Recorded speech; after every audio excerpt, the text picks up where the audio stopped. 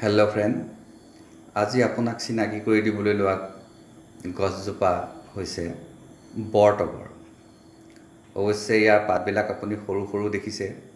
যদিও ইয়াৰ বুঢ়া হোৱাৰ কাৰণে সৰু হৈছে ইয়াৰ পাতখিনি যথেষ্ট ডাঙৰ হয়। এই বৰতগৰৰ ঔষধি গুণ হিচাপে মই আপোনালোকক অৱগত কৰিব বিচাৰিছোঁ।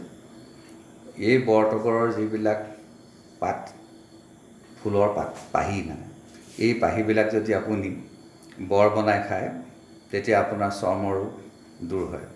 আৰু যদি বৰতগৰৰ পাতবিলাক পিহি আপুনি মুখমণ্ডলত সানে তেতিয়া মুখমণ্ডলৰ লাৱণ্য বৃদ্ধি হয়। আপুনি যদি প্ৰয়োজন হয় প্ৰয়োগ কৰি চাবচোন। মোৰ ভিডিঅ'টো চোৱাৰ কাৰণে ধন্যবাদ।